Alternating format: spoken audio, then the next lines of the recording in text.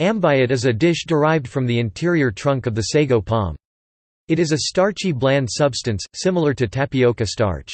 Ambuyat is the national dish of Brunei, and a local delicacy in the Malaysian states of Sarawak, Sabah, and the federal territory of Labuan, where it is sometimes known as linut. Ambuyat is eaten with a bamboo fork called a chandas, by rolling the starch around the prongs and then dipping it into a sauce, of which there are many varieties. There is a similar dish in eastern Indonesia called pepeda.